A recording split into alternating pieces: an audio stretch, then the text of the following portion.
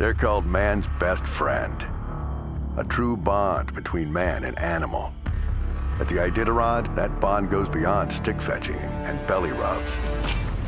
Because when you try to survive 1,000 miles of sub-zero Alaskan wilderness, they're man's only friend.